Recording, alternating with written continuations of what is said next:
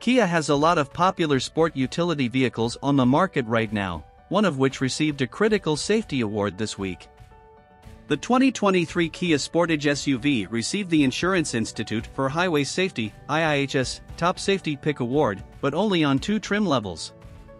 What caused this Kia SUV to miss out on the better award? The IIHS updated some of its crash tests this year to ensure that vehicles are safer on the roads. The 2023 Kia Sportage SUV received the Top Safety Pick Award thanks to the new tests. There are six crashworthiness tests that vehicles have to earn a rating of good to qualify. The scoring goes from good, acceptable, marginal, to poor.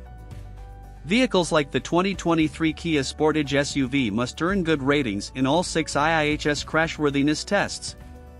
The first tests are the small overlap front, driver side, small overlap front, passenger side followed by the moderate overlap front, side, original test, roof strength, and head restraints slash seat tests.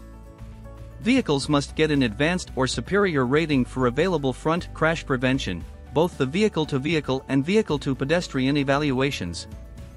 In addition, acceptable or good scores on the standard headlights.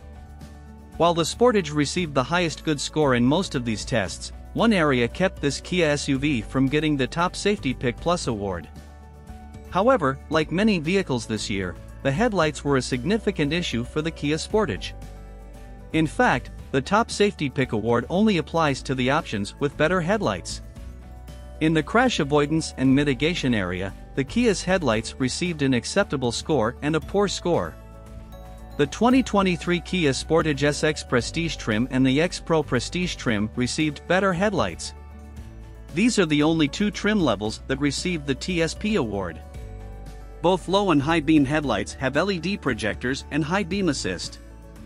The LX, EX, X-Line, SX, and X Pro trim levels received a poor rating in the headlight area. The low-slash-high beam headlights are LED reflectors. The IIHS explains that visibility was inadequate in all four tests for the low and high beam headlights. If you are considering the 2023 Kia Sportage SUV but want better headlights, there are plenty of top safety pick plus winners for this year. The 2022 Hyundai Tucson, 2022 Mazda CX-5, and 2022 Subaru Forester all outperformed the Kia. The Insurance Institute for Highway Safety continuously tests cars, trucks, and SUVs. If you plan on purchasing the 2023 Kia Sportage SUV, pay close attention to the trim levels.